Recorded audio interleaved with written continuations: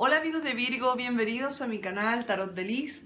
Hoy realizamos tu lectura semanal del lunes 17 al domingo 23 de junio del año 2019. Vamos a ver tus energías, le voy a pedir permiso a Dios para entrar en una energía general para Virgo en esta semana o el tiempo que los guías me den de lo que se va a concretar, lo que viene o lo que debas hacer, etc.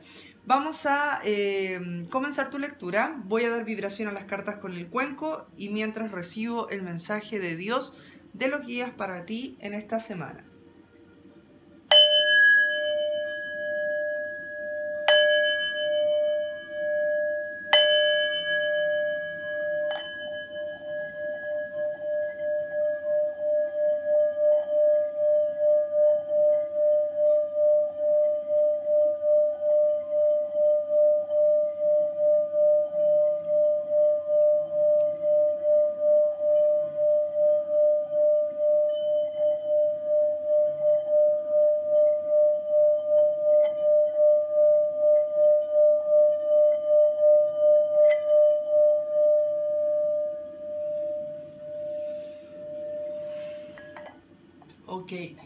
Los guías espirituales hablaban de que eh, Virgo va a estar ya liberado en procesos de dinero y de trabajo.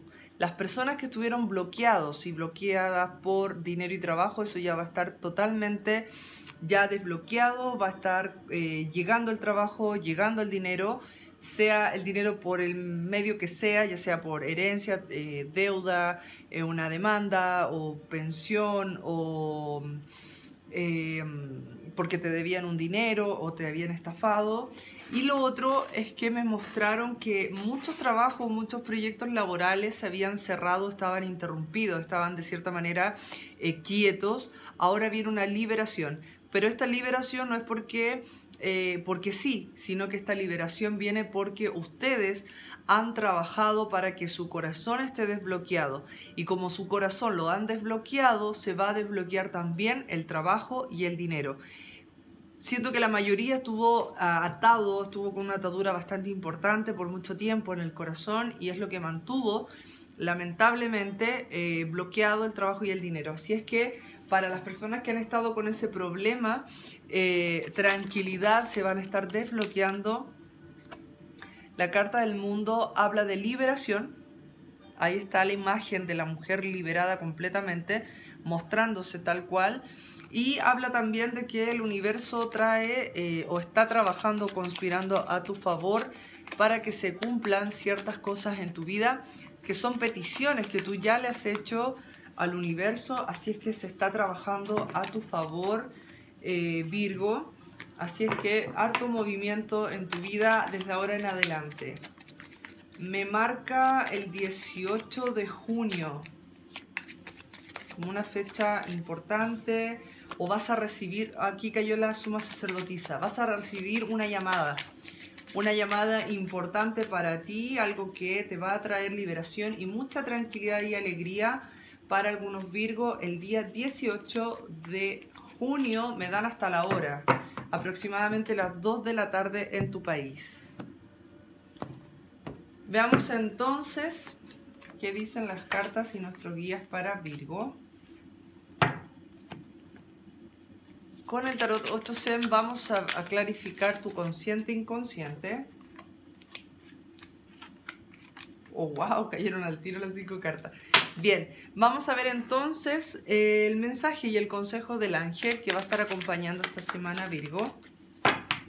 Gracias, están muy conectados los guías. El ángel del amor, qué lindo, muy bien. Vamos a ver Virgo entonces tu semana.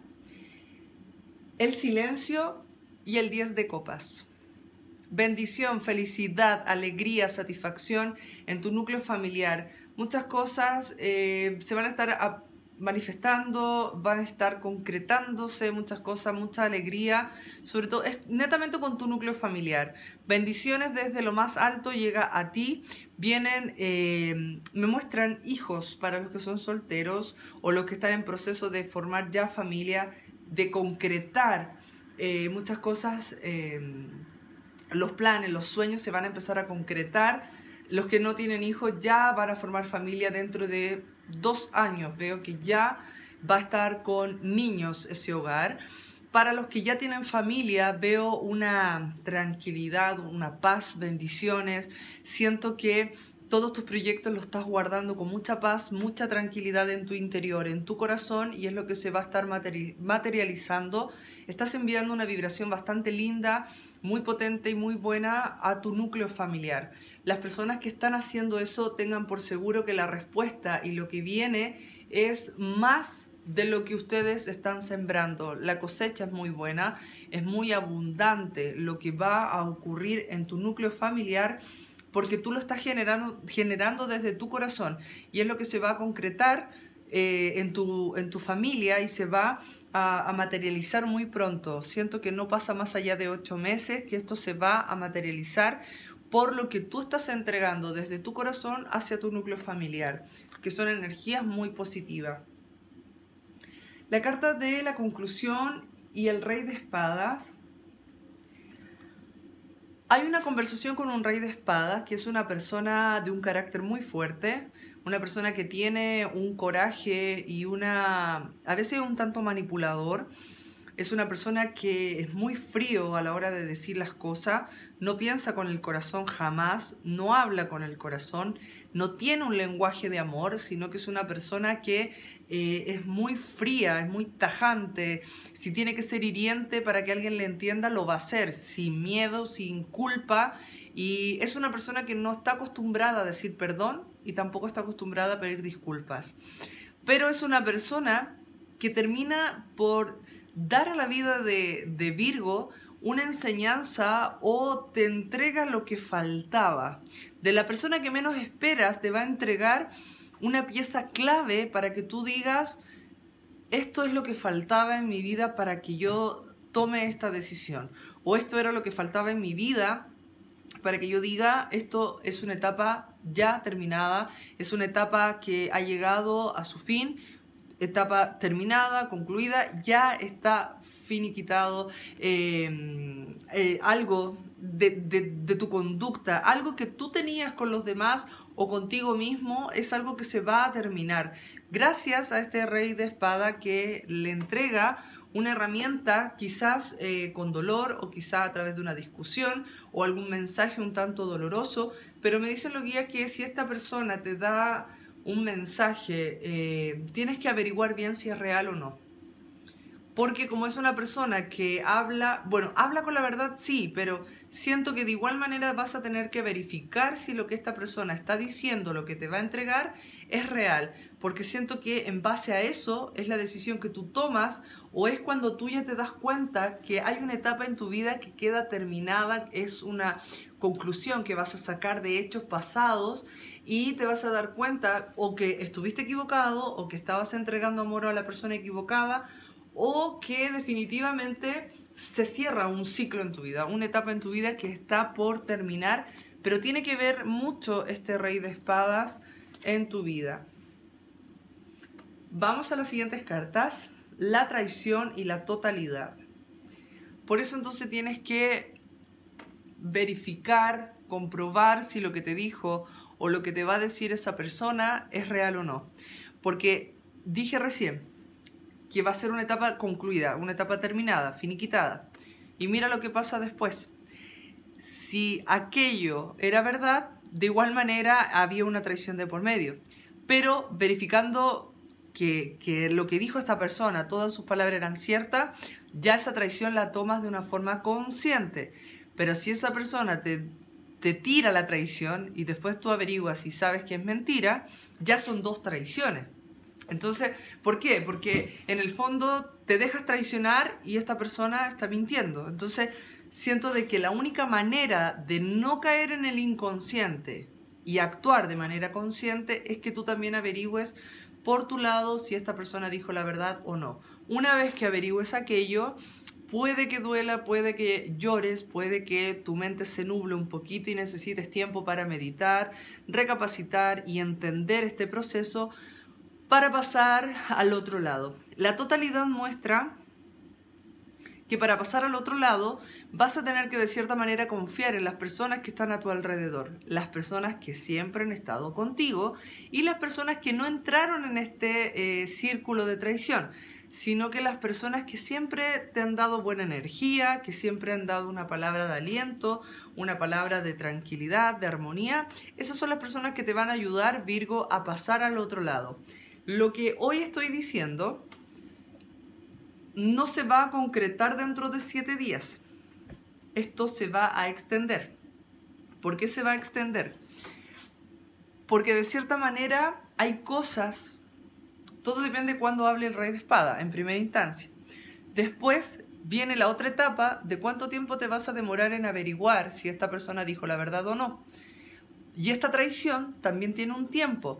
El duelo, eh, cómo vas a vivir esa traición, cuánto tiempo le vas a dar para curar, sanar y cerrar ese ciclo. Si te vas a apoyar o vas a tomar la decisión de tomar a esta gente de confianza para pasar al otro lado o no, entonces esto va a tomar su tiempo. Esto no es en siete días.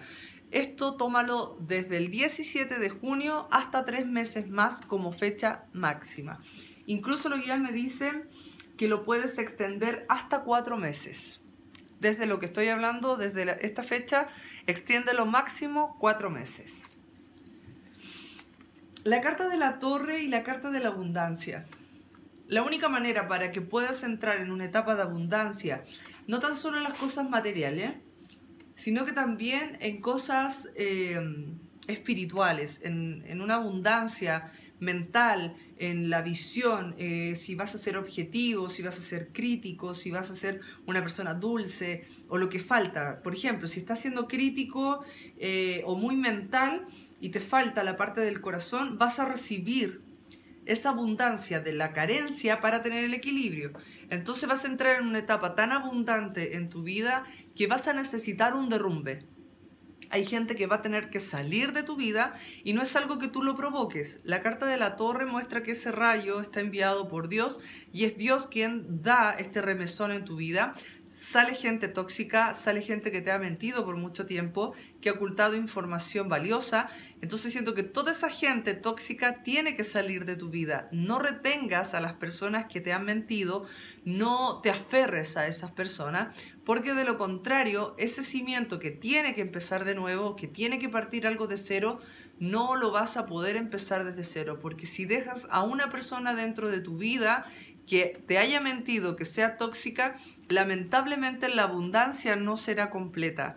Tiene que haber un vacío eh, en tu interior, un derrumbe, tiene que haber ese eh, quiebre, por así decirlo, ese eh, terremoto, ese sismo en tu vida para que pueda partir un nuevo cimiento y la edificación sea sólida, sea perfecta, sea totalmente mm, clarificada en tu vida de una manera muy, muy, muy especial. Siento que esto lo vas a cuidar. Lo nuevo que se va a edificar lo vas a cuidar como dice el dicho, como hueso santo. Entonces para eso tienes que eh, aceptar que ciertas personas en tu vida tienen que salir para entrar en una etapa de abundancia. De lo contrario, la abundancia no va a ser eh, propiamente tal como dice el nombre porque la abundancia es completa. No trae tan solo el dinero o no tan solo el trabajo, sino que habla de algo que complementa todo si ya tenías, por ejemplo, mucho amor propio, pero te faltaba tal y tal cosa, lo que falta lo entregan en abundancia, pero sin contrarrestar el amor propio. Espero me haya explicado. O sea, la abundancia está proyectada en todos los sentidos, ¿ok? Así es que aceptar ciertos cambios, ciertos derrumbes en tu vida, porque son necesarios, Virgo. El as de basto y la carta del avaro. Hay cosas que vas a tener que desechar y alejar definitivamente de tu vida. Hay recuerdos y cosas antiguas de antaño que están con una energía, siento yo que hay con una, energía bastante negativa. Eh, por ejemplo, si te separaste y todavía estás con los, muebles, la cama, la ropa que, que de esta persona o todavía recuerdas o tienes cosas de una relación tóxica, por ejemplo, tratan lo posible de transmutar aquello. Si es ropa, la regalas o simplemente ya la botas. ¿Por qué? Porque siento que estás cargando tus nuevos proyectos con energía tóxica del pasado. Estás como siento que en el fondo te estás quedando con cosas eh, antiguas por querer ahorrar o por no querer despegarte porque dices, no, porque esto es plata. Por último, vende y con ese dinero vuelves a comprar las cosas porque siento de que, y el resto lo pones tú si es que falta. ¿Por qué? Porque siento que si sigues con la energía de las cosas tangibles que tienes, en un presente se va a ver afectado lo que viene y lo que viene es un nuevo proyecto de vida. Habla de vitalidad, de fuerza, de nuevos proyectos laborales, de nuevos proyectos académicos, de dinero y es un proyecto que está lleno de fuerza y de vitalidad y los frutos se van a ver a la vuelta de un año. Pero eso no significa de que no vas a recibir recompensas durante el proceso, sino que la recompensa mayor, cuando tú ya dices etapa cumplida, etapa finalizada, lo pude hacer, va a ser dentro de un año, o sea, ese va a ser el tope máximo, ¿ok? Pero esto ya se puede estar eh, teniendo ya los recursos, o sea, los frutos, perdón, dentro de cuatro o seis meses, ¿ok? Pero vas a tener que despegar o, la palabra es eh, soltar, no al apego. Eso es muy fundamental, Virgo. De lo contrario, estás mezclando la energía nueva con la energía del pasado. El ángel del amor te dice, amar es decirle sí a la vida. Cada vez que tengas la ocasión de amar, lánzate, porque el amor es la única razón para vivir. Si miras las cosas con los ojos del amor, las transformarás. Por eso es importante de que todo lo que ya hayas vivido en un pasado, agradece. Agradece todo eso añejo. Por ejemplo, ya todo esto es parte de una relación del pasado. Agradezco lo vivido, agradezco lo que me entregaron porque fui feliz con todo lo que tuve, lo que eh, y si lo pasé mal, lo agradezco de igual manera porque aprendí la lección. Pero esto tiene que pasar a otra persona tengo que dejar todo esto vacío y comenzar una nueva vida, una nueva etapa. Eso siento, porque eso también habla del amor propio, que es lo que quizás en este minuto hay una carencia dentro de tu vida y es lo que vas a tener que soltar, desprender y avanzar en una nueva etapa, amigo y amiga de Virgo. Bueno amigos, nos vemos la próxima semana. Bendiciones para todos.